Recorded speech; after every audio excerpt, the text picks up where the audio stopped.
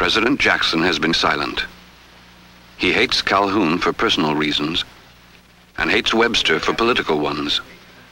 Jackson already has a reputation for favoring the states in Indian matters. No one can really be sure which side the president will take. At a toast banquet in honor of Thomas Jefferson, Jackson will make his policy statement. To Thomas Jefferson, whose pen gave us the Declaration of Independence and the Virginia resolutions to protect liberty from government oppression.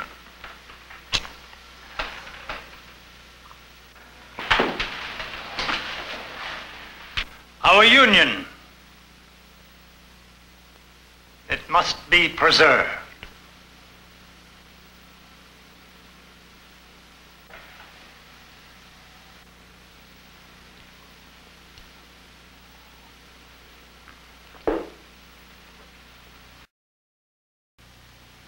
I have resigned as Vice President of the United States. I speak now only as an oppressed citizen of South Carolina.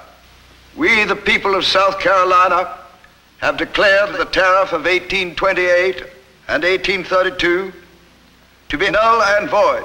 The people of South Carolina will proceed to organize a separate government. I'll hang Calhoun for a traitor as high as Haman. I'll hang them all. I want to force bill in Congress tomorrow morning. Get me troops. God willing, I'll march a 100,000 men into South Carolina.